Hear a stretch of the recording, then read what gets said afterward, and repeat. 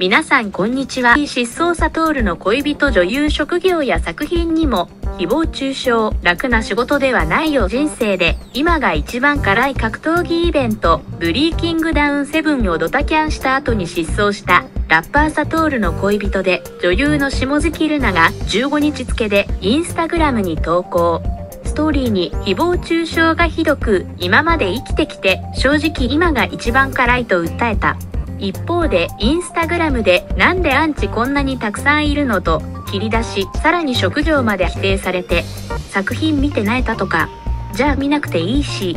決して楽な仕事ではないよと記した。私は毎日いろいろなことと戦って頑張ってる。辛くて悲しくても言わないでニコニコして頑張ってる。言葉の BV ってほんまに辛いよ。今まで生きてきて正直今が一番辛いと訴えている。朝起きたらすっぴんらがんのが可愛いです。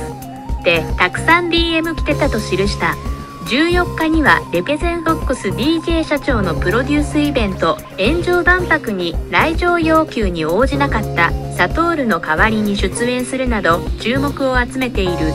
12日投稿では TikTok 動画で反響があったとしてすっぴんラガン写メを投稿し雰囲気がガラリと変わるショットに絶対可愛いすっぴんの方がいいかもとの反響コメントが集まっているご覧いただきありがとうございます。いいねとチャンネル登録をお忘れなく。